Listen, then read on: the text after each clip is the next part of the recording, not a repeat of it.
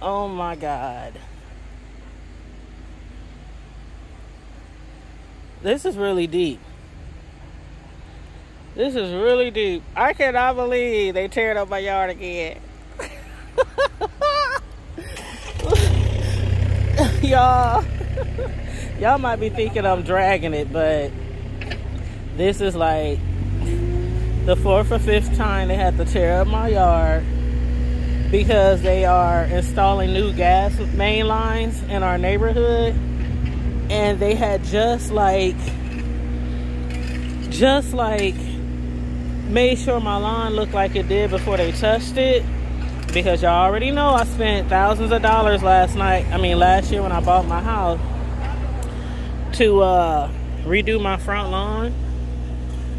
So it kind of really, you know, irks me that they have to keep coming out and keep redigging and redigging and redigging. This is like my yard, the side of my house, right here. I'm gonna get a closer look. This is crazy. This is crazy. And then like I said, I work from home, so it's like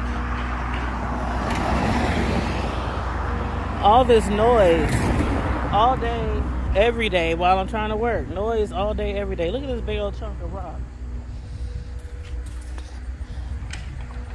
Just sitting out in the street.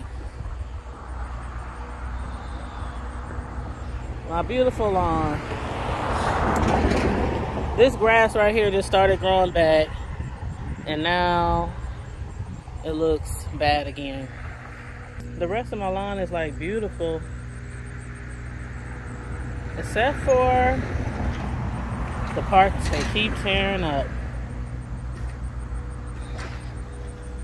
Just a mess. Just a mess.